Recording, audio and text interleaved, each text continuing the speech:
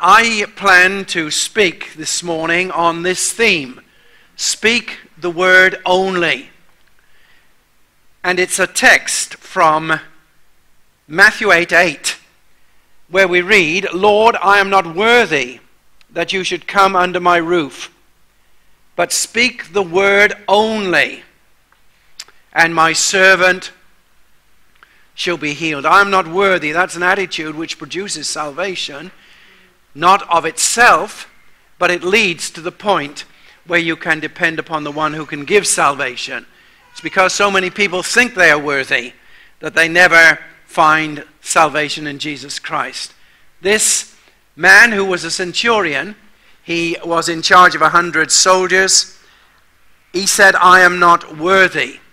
I am not worthy for you to come under my roof. Only speak the word, and something will happen. The centurion's servant who was healed, there are two passages of Scripture which deal with this. And we'll look at them both because they are slightly different. One is in Matthew's Gospel, which we will read, and the other is in Luke's Gospel, which we will take as our main study passage this morning. The first is in Matthew chapter 8, verses 5 to 13. The second is Luke chapter 7, verses 1 to 10. Matthew 8 says, And when Jesus was entered into Capernaum, there came unto him a centurion beseeching him, and saying, Lord, my servant lies at home of the sick of the palsy, grievously tormented. And Jesus said unto him, I will come and heal him. The centurion answered and said, Lord, I am not worthy that you should come under my roof, but speak the word only, and my servant shall be healed. For I am a man under authority, or a man who has authority. This is a structured authority that he's referring to. He's a centurion. He's in the Roman setup, the system, the Roman system. And so there are those who are over him, and there are those who are under him. He says, I am a man under authority, having soldiers under me, and I say to this man, Go, and he goes, and to another, Come, and he comes, and to my servant, Do this, and he does it. When Jesus heard it, he marveled. Both records say that Jesus marveled, and said to them that followed, Verily I say to you, I have not found so great faith, no, not in Israel. And I say unto you that many shall come from the east and west, and shall sit down with Abraham and Isaac and Jacob in the kingdom of heaven, but the children of the kingdom shall be cast out into outer darkness. There shall be weeping and gnashing of teeth. And Jesus said unto the centurion, Go your way, and as you have believed, so be it done unto you. And his servant was healed in the self same hour. I'm going to read now from Luke's Gospel, chapter 7, and please note the difference, which some have used to say that the Bible contradicts itself and disagrees with itself. But no, it doesn't if you carefully analyze what is going on here. Luke 7 1 to 10. Now, when he had ended all his sayings, the sayings actually relate to the Sermon on the Mount, both in Matthew's Gospel and in Luke's Gospel. Those were the sayings that he had engaged in. In the audience of the people, he entered into Capernaum. And a, sense, and a certain centurion's servant who was dear unto him was sick and ready to die. And when he heard of Jesus, he sent unto him the elders of the Jews. Have you noticed the difference already? Okay, the elders of the Jews. Matthew says he came to him.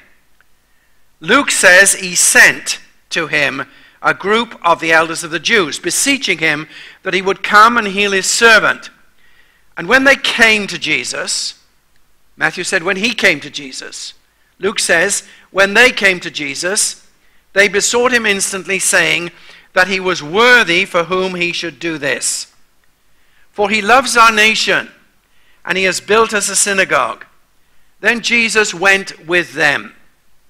And when he was now not far from the house, the centurion sent friends to him, saying unto him, Lord, trouble not yourself, for I am not worthy that you should enter under my roof. That's pretty much the same. Therefore, neither thought I myself worthy to come unto you. So Luke says he didn't come to Jesus. But say in a word, and my servant shall be healed. For I also am a man set under authority, having under me soldiers, and I say unto one, Go, and he goes, and to another, Come, and he comes, and to my servant, Do this, and he does it. When Jesus heard these things, he marveled at him, and turned about him, and said unto the people that followed him, I say unto you, I have not found so great faith, no, not in Israel. And they that were sent, returning to the house, found the servant whole that had been sick. If you bring the two things together, considering the issue of authority, which is what we want to consider here, then it seems very clear that the understanding was that those who represented the centurion in going to Jesus were as if he himself had gone. There's no contradiction. We'll develop that idea as we proceed.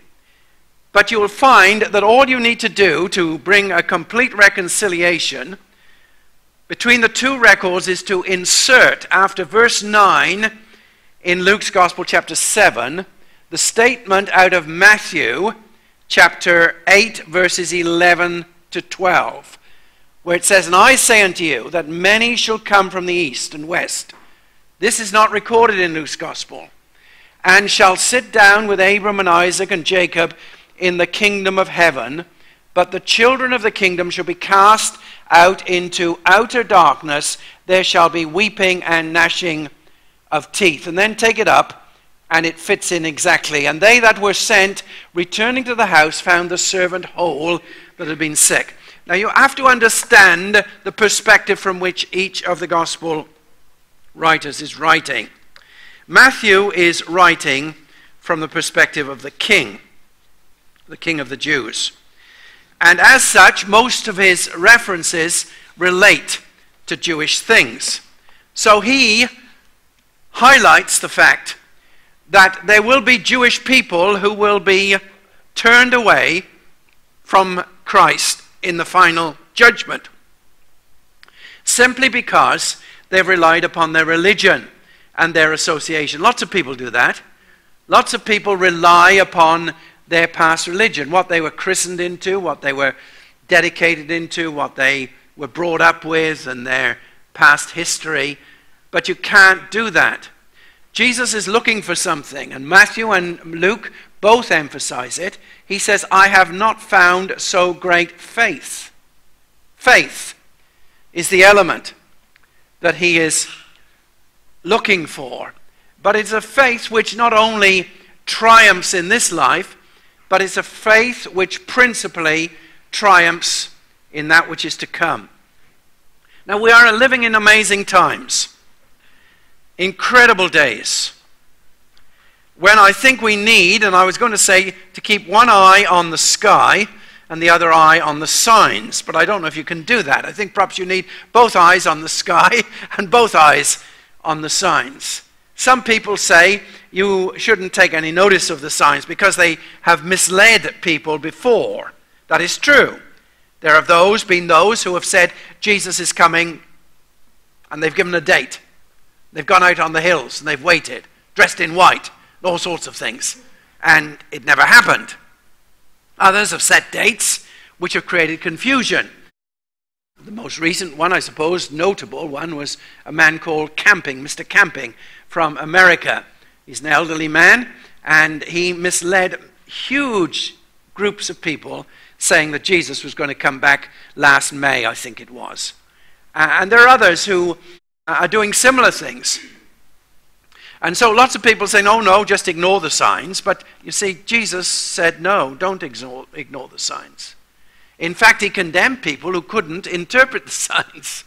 He condemned the Pharisees, and he said, Look, he said, you, you, understand the signs of the day. when it's a sunset and it's red and all that, you, you know it's going to be a good day tomorrow. And when it's Uh, red and lowering in the morning, you know it's going to be a, a bad day. A red sky at night, shepherds or sailors' delight. Red sky in the morning, it's an old saying, isn't it? Shepherds or sailors' warning. That's, that's a well known thing. And, and Jesus said, Okay, you're very clever, aren't you? You can do that, but you cannot interpret the signs of the time. So he very clearly says that we should be able to interpret the signs of the time. We are being bombarded with all sorts of things on the internet. Aren't you? and it does create confusion. We all face these, these things. We face the reality of life. I'm not a faith prosperity person. I'm not a word of faith preacher. I believe that's error. And I believe every one of them ultimately faces their error. Unfortunately, they tend to lead a lot of people into error. Some of you were part of that and you've been rescued. And I can see heads nodding around the place. So um, we, we take a very realistic view, but we do believe that our Lord is able, well able. Now, let, let me say something else here. I didn't intend to say this. But there are early Pentecostal men who were sort of legends. One such man was Smith Wigglesworth. Many of you have heard of Smith Wigglesworth. I believe he was a genuine preacher of the gospel. I believe that he was incredibly impacted by the energy and power of the Holy Spirit. In fact, there are stories told of his own wife sitting in a meeting when, after her husband had been filled with the Holy Spirit, and there had been such a dramatic change in him as he was preaching, she bounced up and down the back pew and said, That's never my Smith. That's never my Smith. What's happened to my Smith? Something had happened. And I believe it was a special time of visitation of God. And I think God did genuinely use him. However, I think also that many people trying to cash in on a legend and a life of a legend, because he was, he became a legend throughout the world, and certainly in Britain. My uncle was very, very closely associated with him. He saw amazing things happen. But I think, like all legends, there have been exaggerations. And there is a, a book out called God's Generals, which is written by a man who unfortunately is a homosexual. This man is Robert Liardon. He is now in charge of a Bible school in London, which is an absolute disgrace. He shouldn't be any longer in the ministry. Uh, but he wrote the book, God's Generals. Now, a lot of that stuff is exaggerated. And it is designed not to boost these men who have died anyway, but to boost himself. And there's a lot of people who do that. So, what we have to do, and there's an old saying, isn't there? Don't throw the baby out with the bathwater. There is the genuine. And in the early Pentecostal days, there were very genuine expressions of power. And I believe we could see them again today. Now, faith is an element. It is not the only element, but it is an element. But the other element, which I want to bring to you, if I can formulate my thoughts and bring them together, is this element of speak the word only, which is taken from this passage of Scripture. We're living, as I said, in amazing times. And some of the stuff that we get now, you have to take with the proverbial pinch of salt on, on the internet. However, we have to also be very careful that we don't dismiss some unusual claims. Now, we can take one of two attitudes to this. Either we can say, okay, like Snopes, it's, it's all a hoax and forget about it. Or else we can keep our eyes open to see what is happening. Whatever attitude we take or reaction, we must not overreact. We must not take a fear position. Islam is rising incredibly fast across the world. They have said that England is their first country, or Britain, of attack. Britain is almost gone. There are 82 courts, Sharia law courts, now in England. But they've said afterwards, Australia is next. Our country, and we mentioned it last week, and I don't intend to re- return to it or overemphasize it. Our country virtually banned freedom of speech a couple of weeks ago when a Dutch politician came to this country with a message. And he said, I come with a message from the old Holland to the new Holland. And he began to tell of what was happening there.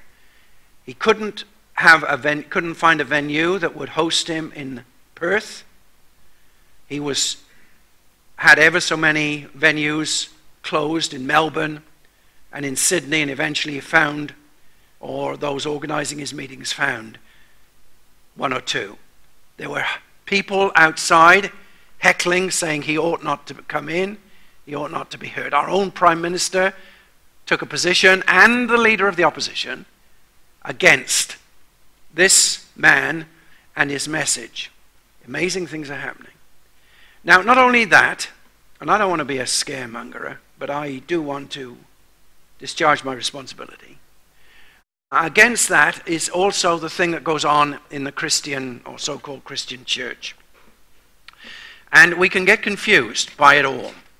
The thing of confusion within the uh, Christian church is what happens about prophecy, where people sort of highlight things. Now, as I say, we can either dismiss it or else we can sort of just keep it there in the background.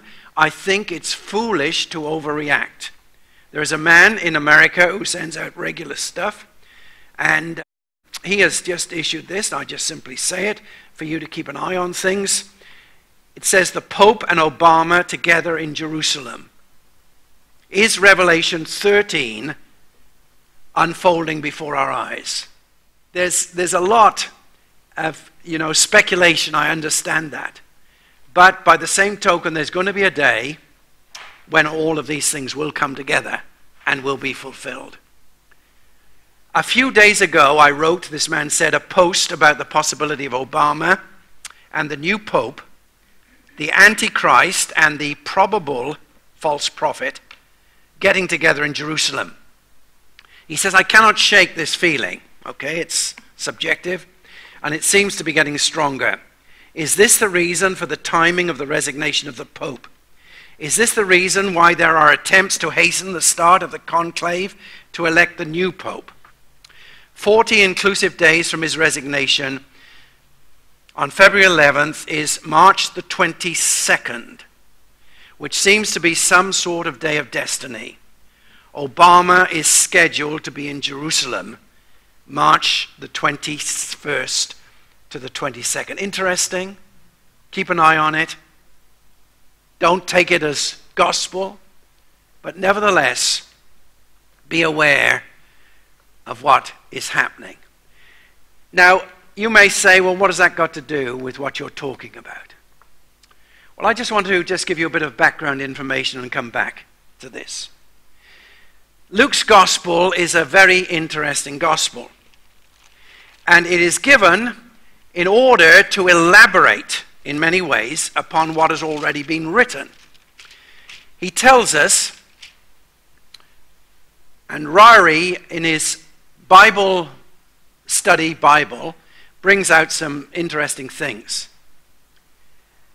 He gives us an outline, and this outline is, is very helpful.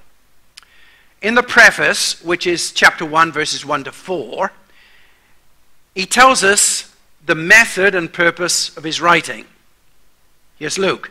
For as much as many have taken in hand to set forth in order a declaration or narrative of those things which are most surely believed among us, even as they have delivered them unto us, which from the beginning were eyewitnesses and ministers of the word.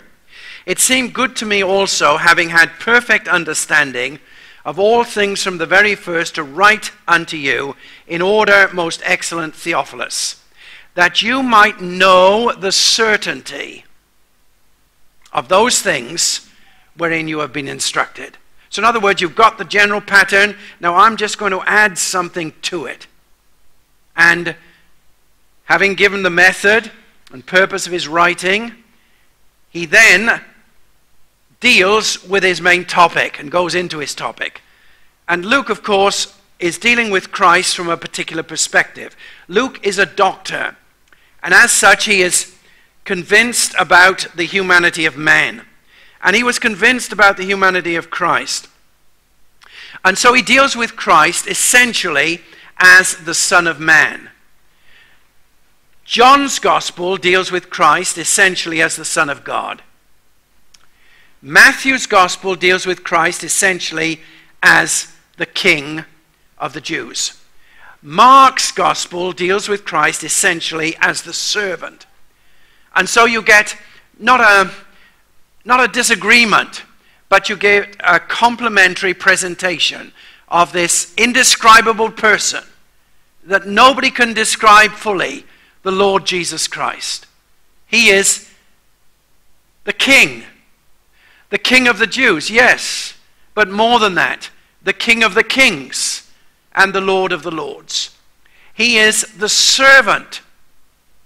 He says, I am among you as he that ministers. He took a towel and he girded himself and he went around his disciples and he washed their feet. And he said, If I, your Lord and Master, have done this, you ought also to do it one to another. So he comes as a servant to show to us the necessity of that in our interrelationship one with the other. But also because he was that, he did not come to be simply a master, he came to serve. I am among you as he that serves. Mark presents him in that capacity. Luke, however, being this doctor, presents him in his perfect manhood. He is the Son of Man. And in chapter 1, verse 5 to chapter 4, verse 13, we won't just go into it here we have the identification of this Son of Man with men. He is among men. Then the third section, which is the section where our text and passage appears, we see the ministry of the Son of Man to men. Chapter 4, verse 14 to chapter 9, verse 50. Then the fourth and fifth, you have the repudiation of the Son of Man by men. He is repudiated chapter 9, verse 51 to chapter 19, verse 27. Then you have the condemnation of the Son of Man by men, chapter 19, verse 28 to chapter 23, verse 56. Then you have the vindication of the Son of Man before men, as he is seen in the resurrection story after his crucifixion. Now, it's that third section that we are relating to the ministry of the Son of Man to men. And it's in this section that our text appears. Now, again, in this section, uh, Ryrie brings out these points the announcement of his ministry, chapter 4, verses 14 to 30, the authority of his ministry, chapter 4, 31 to 611, the associates of his ministry, chapter 6, verses 12 to 49. And there you have mainly the apostles and his naming of them and his sort of authorizing them to go. Although this is where you cannot have very, uh, you know, specific, watertight divisions on these things because you have more associates again in chapter 8, and ladies are among those associates. Thank God for the ladies of the gospel. And those ladies were particularly available to provide the resources for Christ in his ministry. That's what we're told. There was Joanna, who was of noble birth. There was Mary Magdalene, out of whom he had cast seven devils, and others who ministered, we are told, unto him of their substance. So the associates of his ministry on these various points, they, they don't just, they're not just cut off at these verses. They are there right throughout the gospel. But the particular section that we have, Ryrie links it in with the activities of his ministry. And one of the activities was after he had given his great discourse on the Sermon on the Mount, he went into Capernaum. And as he was going into Capernaum, he received this message from the centurion My servant is desperately ill. Can you do something about it? And Jesus said, I'll come and heal him. No doubt. I'll come and heal him. And you know, as we have read, how the story pans out. Well, whereas I agree with Ryrie that it is one of the activities of his ministry, Actually, I think it has more to do with the authority of his ministry. Now, Ryrie, in taking the authority of Christ's ministry, he highlights these sections. He shows his authority over demons. Chapter 4, verses 31 to 37. Christ primarily was manifest in the flesh to destroy the works of the devil. And so he must have authority over all the powers of darkness. Now, we do not imitate or even emulate him in that way. We only have authority because it is designated authority. We do not have absolute authority. This is the difference. This is what I want to bring out here this morning. So his authority, says Ryrie, over demons. Then we have his authority over disease. Chapter 4, verses 38 to 44. Then we have his authority over the disciples. Chapter 5, verses 1 to 11. Then we have his authority over defilement, the leper. Where the leper says, If you will, you can make me whole. And Jesus said, I will be clean. His authority over leprosy. His authority over defectiveness, the palsied man. Interestingly, the word palsy, I think I made a note of it here somewhere, it means to be loose on one side or from the side. That's the Greek word. The concise Bible dictionary says the Greek word to loosen shows that the disease was paralysis. Persons thus afflicted were brought to the Lord on beds or couches. The paralyzed were a type of that through human helplessness, which can be relieved and raised up by God only. There have been occasions when God has visited people. In the early church, he visited in a special way. And Paul was able to look at a man who was lame, and he saw that he had faith to be healed, and he said, Aeneas, Jesus Christ makes you whole. In the early Pentecostal church, similar things happened in England, in America, in Australia, where people, and, and I believe God was visiting in order to authenticate again the fact that He has not changed. He is the same yesterday and today and forever. Why do we not see those things today? I believe we can and we could. Why do we not? Well, primarily, I think because we have become such a self indulgent society. And even within the church, self indulgence prevails. If it suits, we'll do it. If it doesn't suit, we won't do it. And as a result, if God were to visit us while we're in that state, he would simply compound the problem. Because we would not be shaken out of our lethargy and out of our indifference. So, what is the answer? Well, the answer is a bit like this man, where he says that he has detected an authority which exceeds all authority. So here is the authority. Let me just finish off what Ryrie has to say. Authority over defectiveness, the palsied man. Authority over the despised. When Jesus called Matthew, he was a tax collector, despised. Authority over days, the Sabbath day, where he walked through the fields and said, the Son of Man is Lord also of the Sabbath, when he ground the ears of corn, and authority over deformity, the withered man.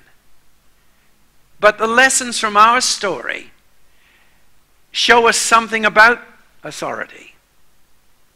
That there are two sorts of authority.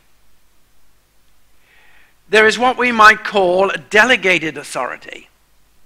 It appears in Luke chapter 7, verse 8, and in Matthew chapter 8, verse 5. And this becomes the explanation why there is no contradiction between the Matthew and the Luke records. Luke 7, verse 8 For I am a man set under authority, having under me soldiers, and I say unto one, Go, and he goes and to another, Come, and he comes, and to my servant, Do this, and he does it. It's a structured authority, it's a delegated authority. The same is in Matthew, if you want to check it out in Matthew chapter 8, verse 9. I'm a man under authority, having soldiers under me. I say to this man, Go, and he goes, and to another, Come, and he comes, and to my servant, Do this, and he do, does it. And then it says, and when Jesus heard it, he marveled. Why does he marvel? Because this man has said, You just speak the word, and it will happen. And then he explains, I am a man under authority. What is he saying? He says, I know what authority is all about. Because I am part of it. I am part of this human system. I am part of this human system where authority is handed down. We have some police officers uh, in our congregation, one of them here today. We have a soldier in our midst, wandered away from a faith prosperity church and lost his way because he saw through the hypocrisy of and he almost threw everything away. He that cometh to me, I will in no wise cast out. Eternal life. What is eternal life? If you take the word eternal, it means it's never going to end. And people get hung up on ideas and say, does that mean once saved, always saved? Leave all of that stuff alone. It'll only bring you into bondage. You say, well, I've got to have a rational answer. No, you don't. What you've got to do is take the Bible in balance. There are a huge number of scriptures which guarantee that my life, once given to Christ, totally dedicated, is in His care, not in my care. And Paul was able to say, He will keep that which I've committed unto him against that day. Now, that can be a comfort as well as for some an excuse. Those who use it as an excuse to justify themselves when they're in sin are misusing the Bible, misusing God, abusing their own relationship, and they will ultimately pay the consequences. But it's a marvelous comfort for those who have brought their children up in the ways of the Lord. And there's a period when they wander away from the Lord. You, brother, sister, friend in this meeting, you need to cling to those promises of God Almighty. It brings comfort to you, it brings assurance to you. If any are using it as an excuse for sin and sinfulness and sinning, then you are outside of the pale of God's salvation. And that is where the balance of the whole thing comes. This man says, I know authority because I am part and parcel of a structured authority. But he says, You have an authority that I have never seen before. He has had an encounter with Jesus Christ. And he says, that's what he says in effect. And Jesus, on the basis of that, says, He says to Jesus, You don't need to have servants. You don't need to even come under my roof. In fact, I am not worthy for you to come under my roof. All you need to do is speak the word, and my servant will be healed. He has recognized another dimension of authority. It is divine authority. And Jesus, in both passages, he says he marveled. He marveled that he had never found anything like that in all of Jewry. In all of his interaction with the people who were designated as being the people of God, he'd never found it. But he found it in this man who was a Roman centurion. And on the basis of that, and the statement, speak the word only, and my servant will be healed, he spoke it. Now, interestingly, in Luke's gospel, this incident is followed in chapter 7, verses 11 to 17, by an incident which demonstrates Christ's authority over death, which is the ultimate authority. It's not in Matthew. Why? Because Luke is adding a detail. He's taking the general things which have been communicated, but as a man of detail, a doctor, he now adds something. The ultimate authority of Jesus Christ, brothers and sisters, is not just in life, it's in death. Hallelujah. It's a place that we're all heading for sometime, sooner or later. We pray for people, and some of them we see healed, some of them we don't see healed. But one day, if they belong to Christ, they will have perfect bodies because their spirits and souls belong to Him. Speak the word only, and my servant will be healed. And Jesus said, I have not found so great faith. No, not in Israel. Faith is made up of many things. One of the most wonderful elements in faith is trust. We've heard a lot about it this morning the singing of the songs, communication from different ones. One person has said, I will trust him even though I can't trace him. You know the famous statement of Job in the Old Testament? He says, and this is really extreme, but he says, even if he slays me, yet will I trust him. He says, I know in whom I have believed. Hallelujah. He says, I know that after this flesh, worms destroy this body, yet I'll see my Redeemer. I will see him. I will see him. And this is the only thing which gives us assurance and certainty in this very, very uncertain and confusing world. Even the confusing messages that come from erstwhile Christians who try to get you onto their bandwagon, their prophecy bandwagon, or whatever. Well, yes, we'll look at the signs. But primarily, our eyes are on the Savior. He's coming. Blessed be his wonderful name. Speak the word, Lord. Speak the word. Hallelujah. May we ever do that. May we ever, from this pulpit, no matter what happens, continue to speak the word, and the servant will be healed. Well, God bless you.